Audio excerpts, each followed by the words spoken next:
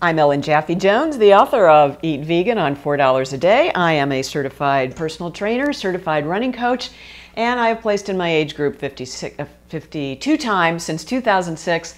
I'm third in the state in Florida in my age group in the 200, 400, and 1500 meters, and I was the fifth oldest female to finish the very first marathon I did in 2010 the Palm Beaches Marathon, fifth oldest female. So people are always asking me, how do you do what you do? How do you be 60 and do this injury free? So the series of videotapes that I hope you have been watching show how you can do this. And of course, always check with the doctor before embarking on any new exercise program.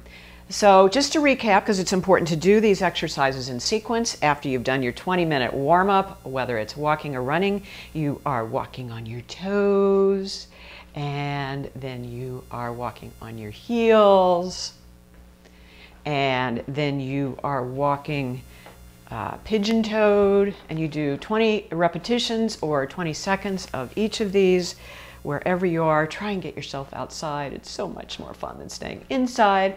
So that was walking outside pigeon toed.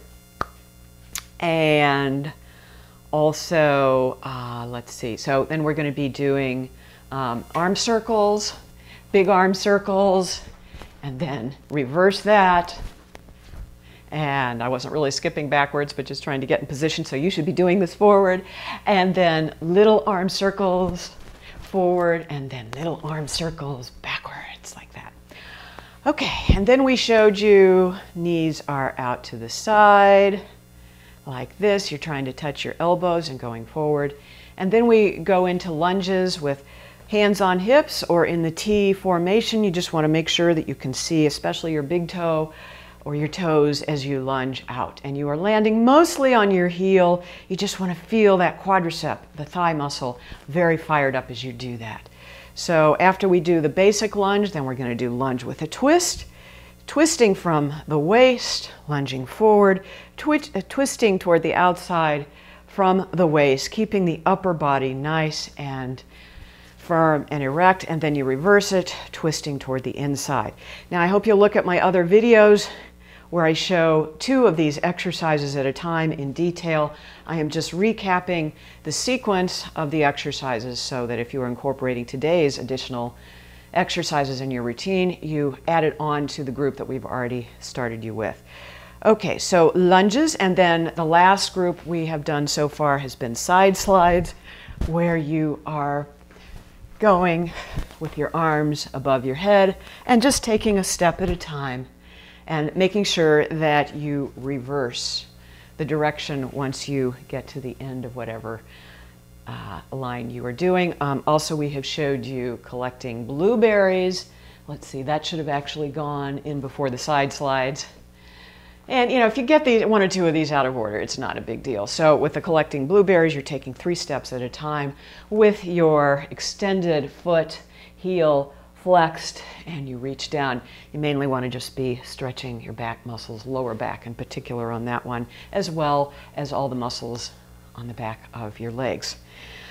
All right, so today's edition is going to be one of my favorites. After you do the side slides, you have set yourself up for a little dancing called karaoke. I don't know where that name came from, but that's what it's called. All the kids do it. So you're going to be doing a twist with your waist.